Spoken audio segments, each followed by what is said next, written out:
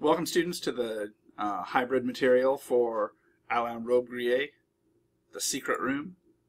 This is our shortest reading of the semester, uh, so you'll see at the end of our talk today I'm going to ask you to uh, possibly read this more than once. It's also one of the strangest things that we're going to read all semester, so I, I hope that you'll um, find some kind of enjoyment in it. And this is something we can return to later is the question of how are we supposed to enjoy these strange works. So we're going to be um, seeing some of Robbe-Grillet's take on this question, what is art for? Uh, maybe you won't be surprised to see that art, as, as strange as this, is focused sometimes on this question of what's the purpose of art. Um, obviously, Robbe-Grillet is an experimental writer, uh, not just a writer of fiction, but also a theorist, so I'll be quoting from some of his theoretical works about uh, writing that he put out. And he, he also ended up working a lot in uh, film.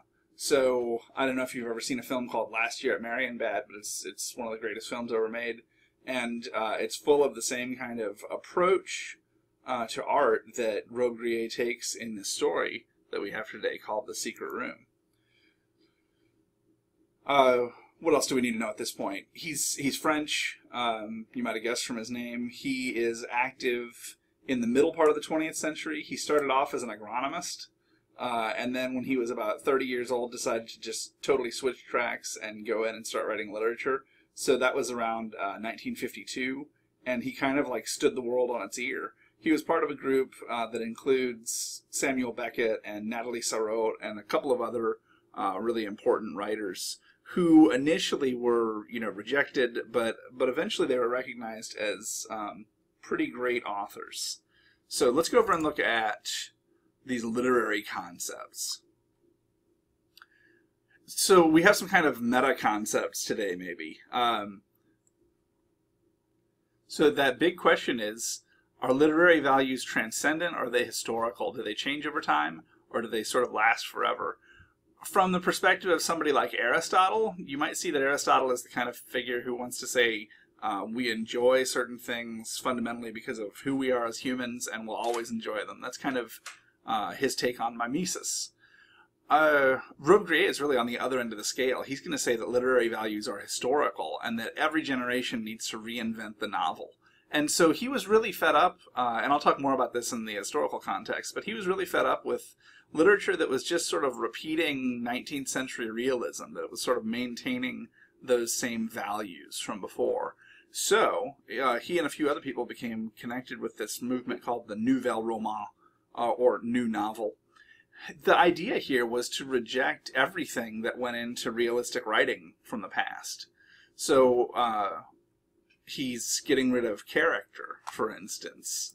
Uh, he wants to be done with plot, right? So so about character, he says character is a thing of the past. It's a set of uh, rules that we allowed ourselves to be pleased by for some time, but with which we can now dispense. Uh, as personal character and the effectiveness of the individual gives way to a sort of expanded consciousness. So you can see that um, character is not something that he's invested in in the same way that an author like Charles Dickens might have been. Uh, similarly about story, he says that plots were there for entertainment, and that works um, that that entertainment works because it reflects the pre-established schemas for stories that readers already have the substance of the story has to seem inexhaustible, as if the author knew everything that happened in that world and could relate it all if needed. And Robbe-Grillet really wants to get past that sense of this kind of continuous story world that's out there somewhere. He wants to say that the writer's strength comes from invention. So rather than saying that writing has a natural relationship with the world, he wants to say writing is an intervention in the world. He doesn't want to get rid of plot.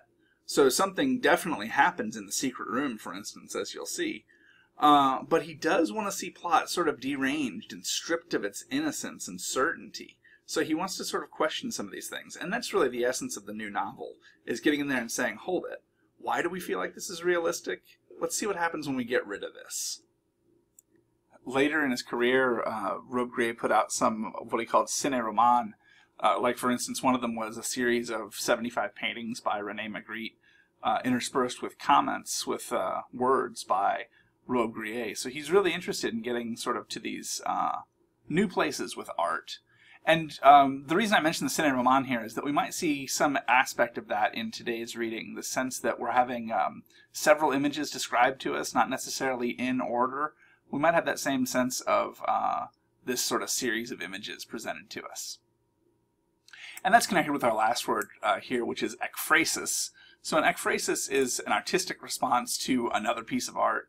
Uh, and this should look better. Uh, the resolution on this picture is kind of low. Anyway, this is a painting by a guy called Gustave Moreau, who was uh, somebody who uh, really liked, and uh, whose paintings have this kind of like sumptuous, decadent quality to them. In this case, here's Salome uh, dancing for us.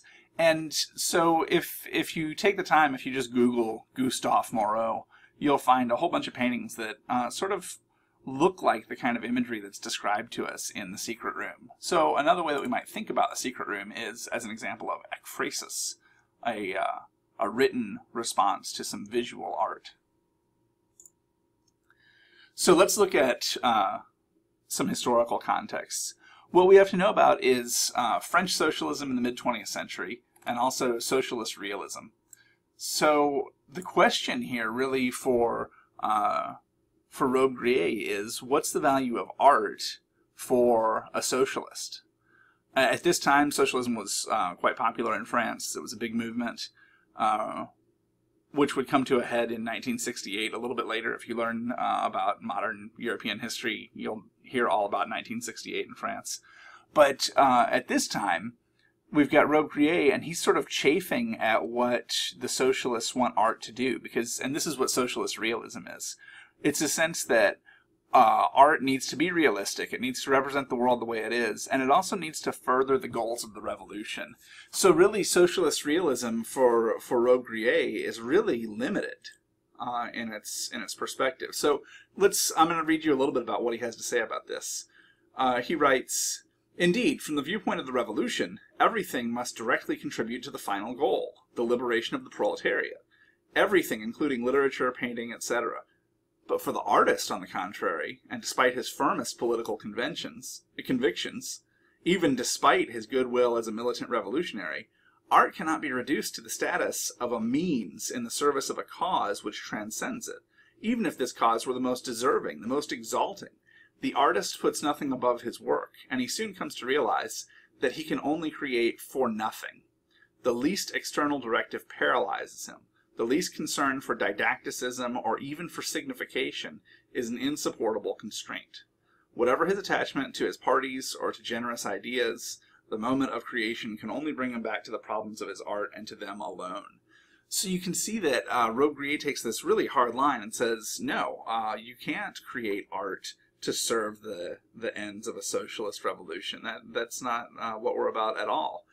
And I want, I'm pointing this out because um, it is a big part of our historical context and it's going to help us understand the story, but also because there's kind of a bizarre similarity between this mid-century French socialist moment in which everything has to uh, sort of show how it's paying for itself, you know, how it's contributing to the revolution, and our current moment at which um, university education is being turned largely into job training.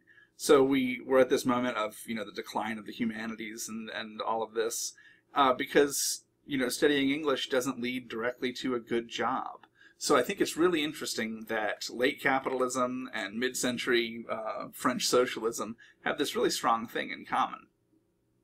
So with Robbe-Grillet, we're seeing this really strong art for art's sake argument. Um, but okay, so here's the interesting sort of limit on the other side. You may have heard of some people who who approach art uh, as as part of a revolution, as something that can really serve a purpose. And here's what he has to say about that. He says, meanwhile, that generous but utopian way of talking about a novel, a painting, or a statue, as if they might count for as much in everyday action as a strike, a mutiny, or the cry of a victim denouncing his executioners, is a disservice ultimately to both art and revolution. To many such confusions have been uh, too many such confusions have been perpetrated in recent years in the name of socialist realism. The total artistic indigence of the works which insist on its tenets is certainly not the effect of chance.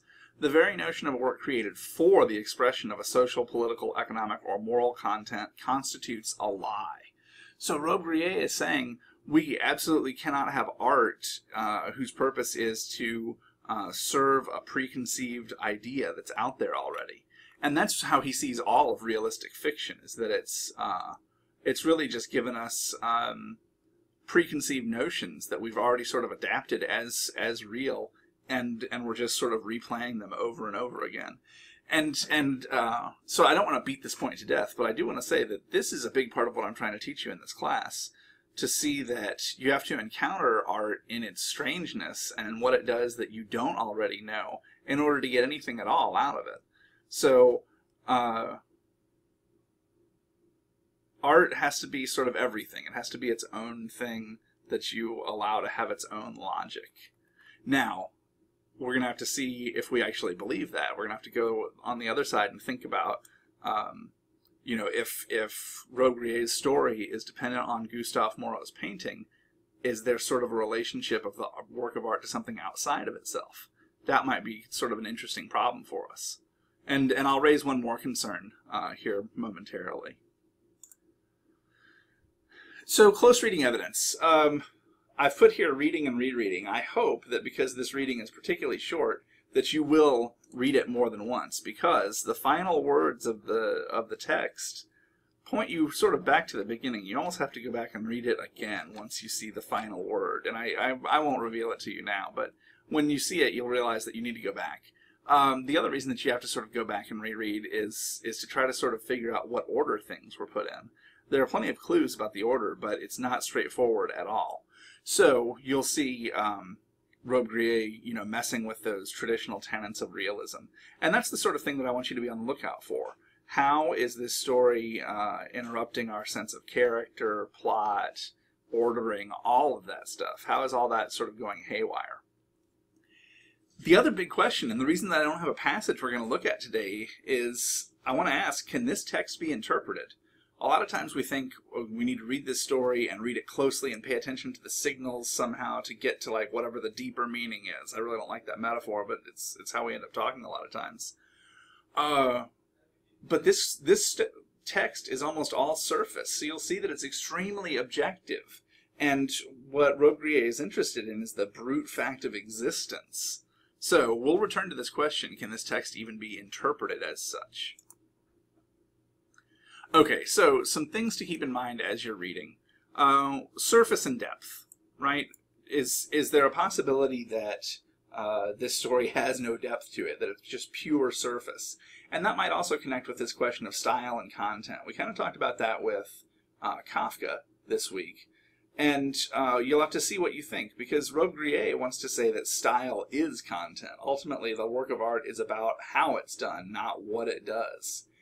And that leads us to our final question art for art's sake. What are the limits there? Why do you think Robbe-Grillet chooses to depict this scene of violence the way he does? Is it okay for an artist to uh, aestheticize violence in this way? And and as you're thinking about that, I want you to also consider: Have you run into any other kinds of entertainment that uh, turn violence into something beautiful through style? So we're going to think about what are the limits of stylization. What at what point does the content actually overwhelm uh, the the style?